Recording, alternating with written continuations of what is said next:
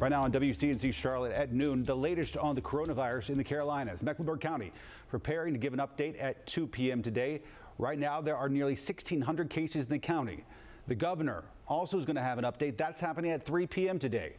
He's expected to address a number of things, including the ongoing situation in Gaston County, where a stay-at-home uh, order has been lifted to some degree. We're going to carry both of those press conferences live as they happen and streaming in the WCNC app. Good afternoon. Thanks for staying with us. I'm Ben Thompson. Here are the latest coronavirus numbers in the Carolinas. In North Carolina, we have now passed that 10,000 mark. Take a look. 10,509, 378 deaths. South Carolina, nearly 6,000 cases with 232 deaths. We'll get to all that coming up in just a minute, but first let's take a look at the forecast. Hundreds of folks in the Charlotte area without power today after storms knocked down trees and power lines last night. A tree fell in the front of a home on Walnut Avenue in West Charlotte, shutting down the road this morning. That tree pulled down power lines with it. Right now, hundreds of people without power in our region. Here's a look at the latest outage numbers from Duke Energy. Mecklenburg County, more than 2,500 people without power, and Gaston County reporting nearly 800 people in the dark. Let's go ahead and send it over to Chris Mulcahy. He has been tracking those storms overnight into this morning, and they're starting to clear out. We might see some rain, but nothing serious this afternoon. Yeah, nothing serious, Ben. So that's going to be the good news. And those storms could have been a lot worse, especially if they arrived a little bit earlier in the day, especially since it got to around 80 degrees. But luckily for us, it's only going to be a spotty rain shower, maybe one little cell that could provide a little heavy rain, but only I think 30 to 40% of the area is going to see a brief shower to end the afternoon and begin the evening. So the three weather words for today, number one, breezy. We're still going to have wind gusts up to about 25 miles per hour. We have that shower potential, as I mentioned, but it's also cooler, especially compared to what we had yesterday. So up in Blowing Rock, we are looking at a darker sky right now. So that is looking at just what's left over from the system. It's also a precursor to maybe a few darker clouds that are going to be rolling in a little bit later on the afternoon. Here's that mean line of rain that rolled through. Over two inches of rain for most of us across the area, exceptions for some areas down to the southeast. But if you look off towards the northwest, over in Kentucky, West Virginia, a few of these showers are going to be wrapping back in. So since you are going to have that potential, that is going to be a better chance for more showers to start to move their way off towards the east as we're completing the afternoon. So our future cast is showing spotty showers and in the afternoon heading into the evening. By the late evening, everything's pretty much kaput. We're drying out and then we're heading into a nice little dry trend. Temperatures right now, 61 degrees. We're still warming up. You're going to be seeing some spots of sunshine here and there. It'll be cloudy, then a little bit brighter, cloudy, a little bit brighter, and then eventually I think we're going to have a brighter end of the day, even with those hit or miss rain showers to complete the afternoon. Afternoon highs, I have say in the upper 60s. I still think with the power of that sunshine, since we had a warmer start, it's going to get us there. Best chance for rain will be between mainly about 5 to 8 o'clock, it looks like, across the Charlotte area. But over the next four days, if you want warmer temperatures, don't worry about it. Still going to be a little bit cooler tomorrow. We're back above average on Saturday. The 80s back to back Sunday and Monday. So if you're searching for those warmer days, well, they're right around the corner. Ben? Chris, thank you, sir. Appreciate it. Well, it is hard to believe that it has been exactly one year since that deadly shooting at UNC Charlotte. And today, the university is going to hold a day of remembrance in honor of the two students who lost their lives on that day. This morning, CMPD held a wreath laying ceremony at the campus. WCNC Charlotte's Billie Jean Shaw has more on all the tributes today. Good afternoon, Ben. You know, a lot of students are still trying to heal a year later from this shooting. A few of them coming out to show their respects, even in the midst of this pandemic. I also spoke to a survivor who says when he walked into this building last year, he wasn't sure if he was going to make it out alive after coming face to face with the gunman. The sounds of gunshots. Probably at least 10, maybe more. It, it sounded kind of like firecrackers, like bang, bang, bang. Piercing screams. You hear those like screams like horror movies and stuff, but like they're really bad. It was some of the worst screams I've ever heard. Oh my God. And terrifying sights of people running for their lives. A chair had been pushed in front of the door and a girl fell on the chair and people were running over her. Are forever engraved in Tristan Phil's memory. Ran to a nearby building, hid there for a while, and then we um, eventually got let out by police. Tristan is a survivor of the tragic shooting one year ago at UNC Charlotte. The 20 year old snapped this photo just moments before his former classmate, the confessed shooter opened fire, randomly targeting students in an auditorium on April 30 of 2019, the last day of classes. Two people were killed, four others injured. Tristan witnessed it all and posted these messages on Snapchat to warn other students. A year later, the junior biology major says he is still affected by the tragedy. The smallest things like a loud noise or even the setup of a classroom remind him of what could have been his last day alive. Most classes are okay, but I had like drop out of one last semester like I just like kept getting like flashbacks in that class for some reason. Over the year, the thought of transferring to another college or dropping out of school altogether has often crossed Tristan's mind, but every time he feels discouraged, he remembers the meaning of UNCC Strong and knows this tragedy is also his testimony of perseverance. Because like I realized, live every day to like keep going. Might as well try hard and not waste my opportunity. And Tristan is back home in High Point right now. He's considering driving down to lay flowers flowers on the steps of Kennedy Hall where the shooting happened. But if he doesn't come, there is a day of remembrance being streamed online by the campus that'll be from 5 to 10 this evening.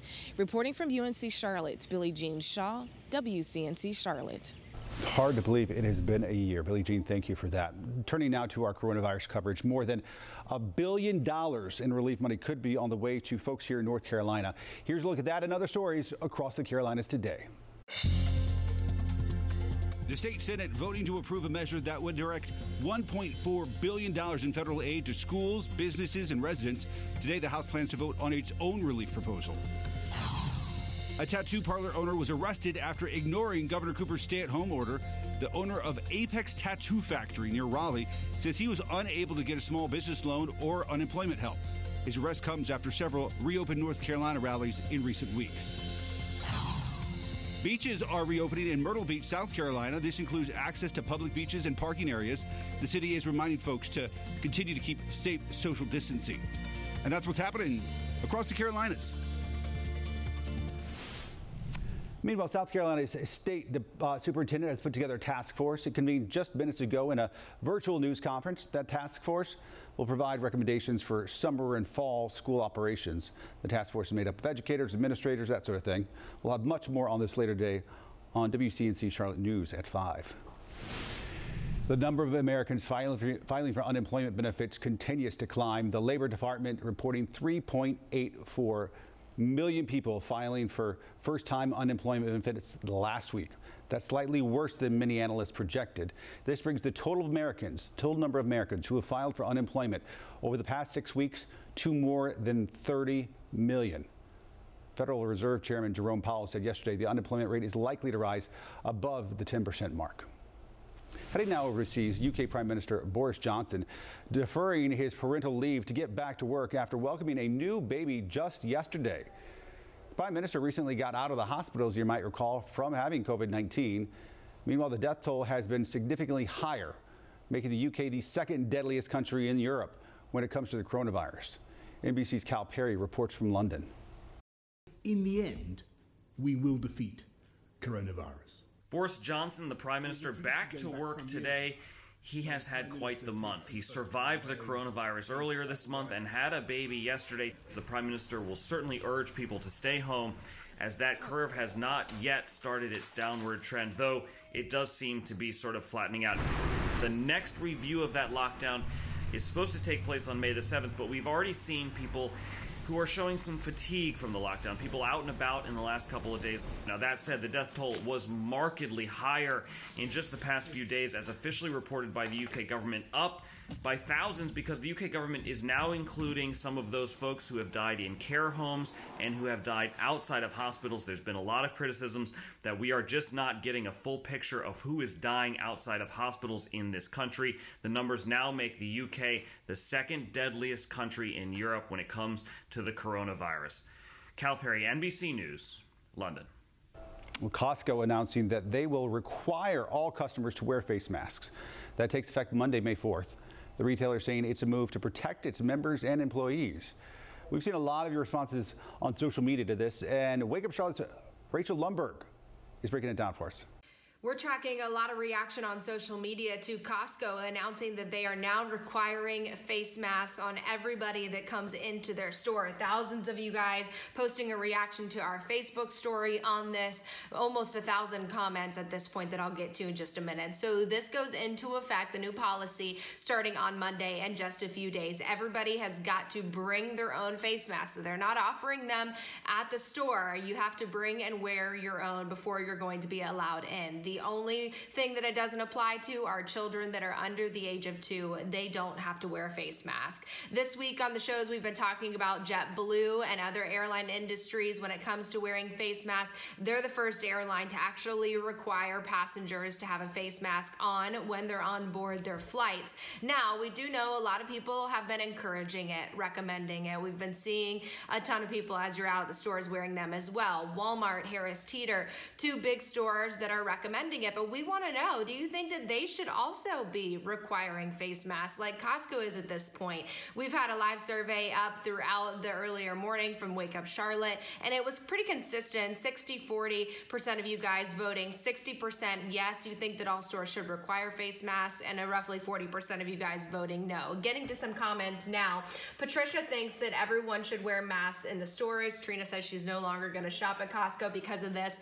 Paul does not want the government or stores dictating what he should do. And then Bonnie says if you're going to require masks, she thinks that you should also be providing them then. Join us on this conversation. Text us if you don't have our number. It's 704 329 3600 or tag us on Facebook and Twitter, WCNC Charlotte. Back to you.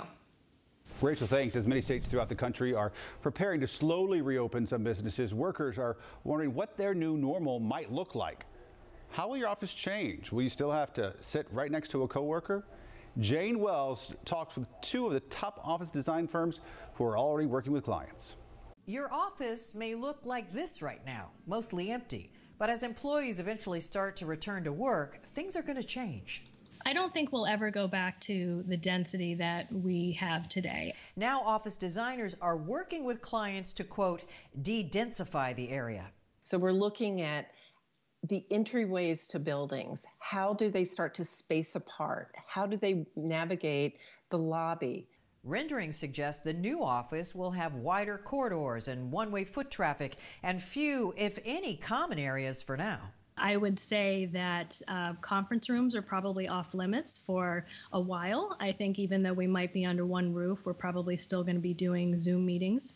And welcome back the high walled cubicles made famous 20 years ago in the film Office Space. If they move my desk one more time, then, then, I, then I'm quitting. And what about the bathroom? Maybe you can open the door with your elbow and have touchless soap dispensers, touchless sinks for washing, even hands free towel dispensers. But the toilet stall is traditionally not hands free. So there are ways that we can start thinking through even incorporating voice activation to open doors and the like that will make it an easy experience.